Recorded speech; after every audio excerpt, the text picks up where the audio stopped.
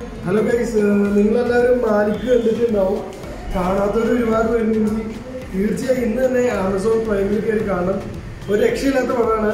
തിയേറ്ററിൽ പോയി കാണേണ്ട ഒരു പടമായിരുന്നു. ഫഹദ് ഫാസിലിന്റെ ഏറ്റവും അടിപൊളി എനിക്ക് കരിയർ ബെസ്റ്റ് ആണ് രണ്ടായിരത്തി ഇരുപത് ഇരുപത്തൊന്നിൽ ഇറങ്ങിയ പടത്തിൽ എനിക്ക് ഏറ്റവും ഇഷ്ടപ്പെട്ട ഒരു പടമാണ്. നമ്മുടെ കൊളീഗ്സ് ഇപ്പോൾ നമ്മുടെ ഒരു തിയേറ്റർ റൂമുണ്ട് അവിടെ ഇരുന്ന് മാലിക്ക് കണ്ട് ഇറങ്ങുന്നുണ്ട്. അവരെടുത്ത് നമുക്ക് അഭിപ്രായം ചോദിക്കാം. എങ്ങനെയുണ്ട്? പടം എന്നുള്ള കാര്യങ്ങളൊന്ന് ചോദിക്കാം. ഇപ്പോൾ റിലീസ് ചെയ്തുകൊണ്ട് രണ്ട് ഗുണങ്ങളുണ്ടായി ഒരു ഗുണവും ഉണ്ടായി ഒരു ദോഷമുണ്ടായി എന്ന് പറയാം.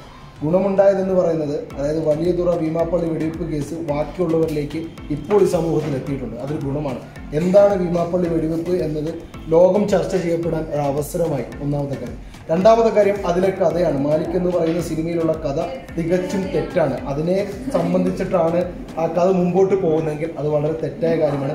അങ്ങനെയല്ല ഭീമാപ്പള്ളി വെടിവെപ്പുമായുള്ള സംഭവം. ഭീമാപ്പള്ളി വെടിവെപ്പ് നടക്കുന്ന തലേ ദിവസം സംഭവിച്ചത് ഒരു വ്യക്തിയിൽ നിന്ന് സംഭവിച്ചത് പിന്നീട് പോലീസും അവിടുത്തെ പാവപ്പെട്ട ജനങ്ങളുമായിട്ടുണ്ട്. ഒരു ഉമ്മായിക്ക് സ്വന്തം മക്കളെ നഷ്ടപ്പെട്ട് ഭാര്യയ്ക്ക് ഭർത്താക്കന്മാരെ നഷ്ടപ്പെട്ട കുറേയേറെ സഹോദരിമാർക്ക് സഹോദരന്മാരെ നഷ്ടപ്പെട്ട കുറേയേറെ സംഭവം ഭീമാപ്പള്ളി അല്ലെങ്കിൽ വലിയതുറ വെടിവെപ്പിലുണ്ടായി മാലിക് എന്ന് പറയുന്ന സിനിമകൾ ഉൾക്കൊള്ളിച്ചിരിക്കുന്ന എല്ലാ കാര്യങ്ങളും സത്യമല്ല. പക്ഷെ അതിൽ നിന്നുണ്ടായ ഗുണം എന്താണ് വലിയതുറ വെടിവെപ്പ് അല്ലെങ്കിൽ ഭീമാപ്പള്ളിയിൽ നടന്ന ആ ക്രൈസിസ് ലോകം അന്വേഷിച്ചു തുടങ്ങിയിരിക്കുന്നു. അതിനെക്കുറിച്ച് ആലോചിച്ച് തുടങ്ങിയിരിക്കുന്നു. അതെന്തായാലും ഒരു പോസിറ്റീവ് റെസ്പോൺസ് തന്നെയാണ്. പടം കണ്ടിരുന്നു വളരെ നന്നായിരുന്നു. നമ്മുടെ രണ്ടായിരത്തി ഇരുപത്തിരണ്ട് ഇറങ്ങിയ ഒരു മാസ് പടം. അത് മാത്രമാണ് മാലിക്കിനെ കുറിച്ച് നമുക്ക് പറയാനുള്ളൂ.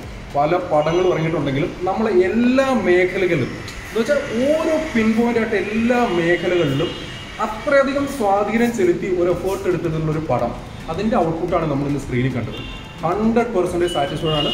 ഫഹദ് ഫാസിലിന്റെ ഒക്കെ അഭിനയം എന്ന് പറഞ്ഞാൽ നാച്ചുറൽ അഭിനയം. ഒരു അൾട്ടിമേറ്റ് ആണ് അത് കാഴ്ചവെച്ചിരിക്കുന്നത്. നമ്മൾ സംവിധായകനെ മാത്രമല്ല തിരക്കഥാകൃത്തല്ല അതിന് വർക്ക് ചെയ്തിരിക്കുന്ന എ ടു സെഡ് എല്ലാ ആൾക്കാരുടെയും ഒരു വർക്കിന്റെ അതിന്റെ ഔട്ട്പുട്ടാണ് നമ്മൾ സ്ക്രീനിൽ കണ്ടത്.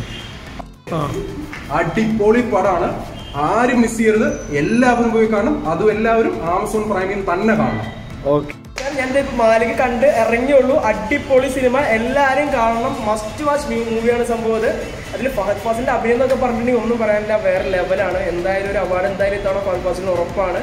എല്ലാവരും ആമസോൺ പ്രൈമിൽ തന്നെ പോയി കാണണം. എൻജോയ് ഹലോ ഗൈസ് ഇപ്പോൾ ഇത് മാലിക് കണ്ടിറങ്ങിയ അനീഷ നമ്മുടെ ഒപ്പം ഉണ്ട്. അനീഷയുടെ അടുത്ത് ചോദിക്കാം. എങ്ങനെയുണ്ടായിരുന്നു മാലിക്കിന്റെ കണ്ടിട്ടുള്ള എക്സ്പീരിയൻസ് എങ്ങനെയുണ്ട് പടം? എങ്ങനെ? ഒരു അഞ്ചിൽ എത്ര റേറ്റിംഗ് കൊടുക്കാം നമുക്ക്? ഒരു അഞ്ചിൽ നാലര കൊടുക്കും. നല്ല കൊടുക്കും. ഫഹദ് ഫാസിലിന്റെ പെർഫോമൻസ് ഒക്കെ എങ്ങനെയാണ്? എല്ലാവരും സൂപ്പറാണ് മാലിക് സൂപ്പറാണ് മഹേഷ് നാരായണന്റെ തന്നെ കരിയറിലെ മികച്ചൊരു സിനിമയാണ് മാലിക്. മാലികിനെ മാലിക്കിനെ പറ്റി പറയുകയാണെങ്കിൽ നമ്മുടെ ടേക്ക് ഓഫ് പോലത്തെ ഒരു വലിയ ബിഗ് ബഡ്ജറ്റ് ചിത്രം തന്നെയാണ് മാലിക് അതിനുശേഷം സിയൂസു എന്ന് പറയുന്ന ഒരു ചെറിയ ഫോണിലെടുത്ത ചിത്രത്തേക്കാൾ വെച്ച് നോക്കുമ്പോൾ മാലിക് വളരെയധികം നല്ലൊരു നല്ലൊരു രസമായിട്ട് തന്നെ കാണാൻ പറ്റുന്ന ഒരു ചിത്രം തന്നെയാണ്.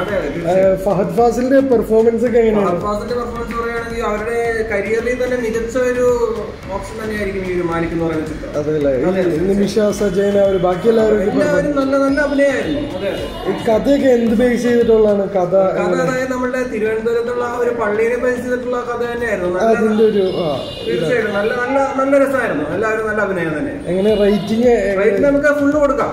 അടിപൊളി. പിന്നല്ല അപ്പൊ അടുത്ത തവണത്തെ ബെസ്റ്റ് ആക്ടർ ഫഹദ് ഫഹദ് ഉറപ്പല്ലേ? ഓക്കെ.